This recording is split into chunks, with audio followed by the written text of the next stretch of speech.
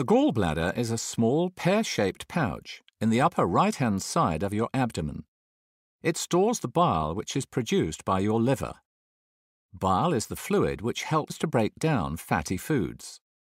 The bile, when needed, is carried from the gallbladder to the intestine through its own tube called the cystic duct and then through a tube called the bile duct. One in ten people develop gallstones in their gallbladder with no ill effects. In some people, gallstones can cause pain if the gallstones block the outlet from the gallbladder to the intestine.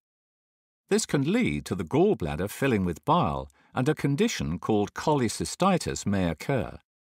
This is where the gallbladder becomes inflamed, causing attacks of pain, nausea, and fever. Removal of the gallbladder is called a cholecystectomy. Your body can function well without a gallbladder.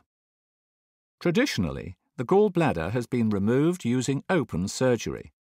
However, the most common way of removing the gallbladder now is through keyhole surgery, an operation called laparoscopic cholecystectomy. This keyhole surgery is usually undertaken as day case surgery.